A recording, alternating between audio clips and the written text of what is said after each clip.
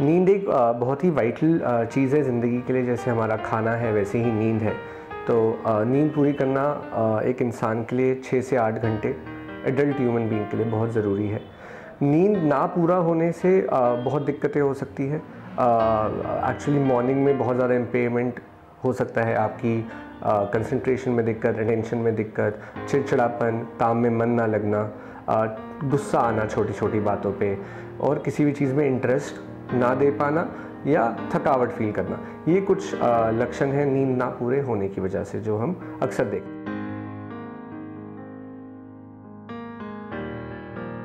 नींद ना आने के बहुत का सारे कारण हो सकते हैं। नींद ना आने के कारण लाइफस्टाइल एक बहुत बड़ी चीज़ हो गई है, जो फेस शिफ्ट वर्कर्स हैं जो कई बार दिन में काम करते हैं, कई बार रात में काम करते हैं, उनकी शिफ्ट चेंज होती है।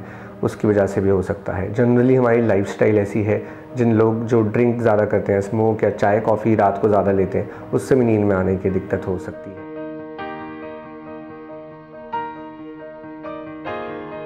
कुछ उपाय तो हम घर पे ही अपने साथ अपने लिए ट्राई कर सकते हैं। सबसे पहला जो हम यूजुअली एडवाइस करते हैं वो ये होता है कि अपना रूटीन फिक्स करें। सोने का समय और जागने का समय मोटे तौर पे फिक्स रहना चाहिए। दूसरा, अपने डाइट का ख्याल रखें। डिनर में ज़्यादा भारी खाना ना हो। डिनर के साथ स्मोकिंग और अल्कोहल अवॉइड करनी चाहिए शाम के समय। शाम को छः बजे के बाद चाय और कॉफ़ी भी अवॉइड करनी चाहिए और सोने से तीन घंटे पहले तक हेवी एक्सरसाइज नहीं करनी चाहिए। दिन में अगर नींद आए तो आधे से पौने घंटा सोना चाहिए जो आफ्टरनून नैप कहते हैं हम यूजली उससे ज़्यादा नहीं होना चाहिए तो शाम को नींद आने में आ, दिक्कत होती है।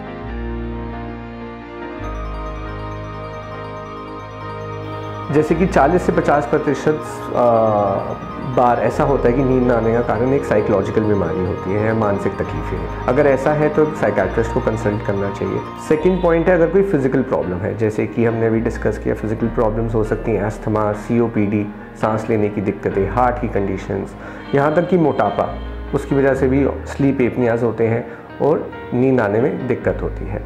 ये कुछ आ, उसके लिए फिर आपको अपने जो भी स्पेशलिस्ट डॉक्टर हैं जैसे कि स्लीप के आजकल स्पेशलिस्ट डॉक्टर्स आ गए हैं चेस्ट स्पेशलिस्ट हैं हार्ट के स्पेशलिस्ट हैं उनके पास जाके उनकी रिकमेंडेशंस लेनी चाहिए।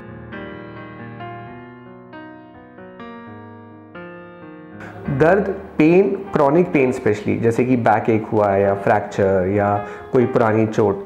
क्रॉनिक पेन से बहुत अक्सर देखा जाता है कि नींद की दिक्कत बहुत ज़्यादा आने लग जाती है क्योंकि इंसान दर्द से ही इतना सह नहीं कर पाता कि वो नींद अपनी पूरी कर पाए। सबसे पहले किस कारण की वजह से हो रहा है?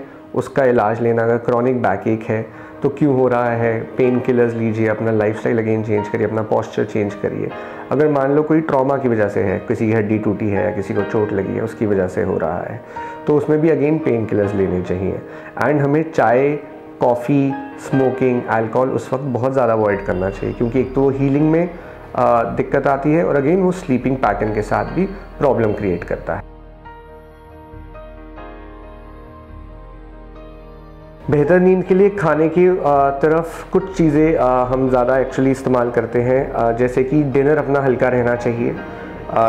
डिनर और नींद के बीच में कम से कम दो से तीन घंटे का गैप होना चाहिए। डिनर में मोस्टली हम ग्रीन लीफी वेजिटेबल्स या लेस ऑयली फ़ूड प्रेफर करते हैं। वीट और कार्बोहाइड्रेट्स भी कम हम कई बार प्रेफर करते हैं रात को।